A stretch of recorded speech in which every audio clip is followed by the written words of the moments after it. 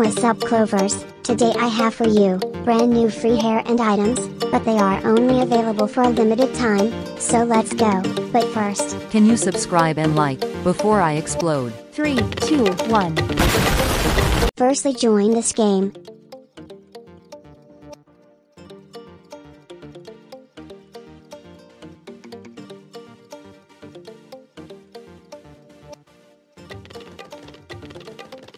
Okay to get this free hair, you have to get 340,000 points, here's how to get points.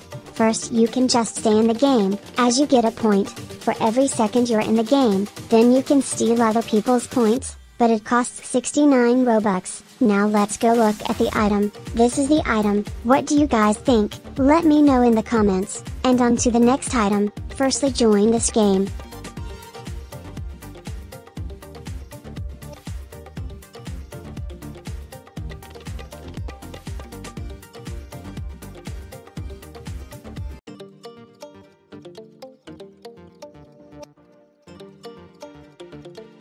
Okay to get this free item, first you have to first complete the tutorial, then to get the free item, you have to sell 1000 cinnamon rolls, but first you have to reach level 8, and the only way to get XP to level up is to, just keep selling food at your store, now let's get some XP.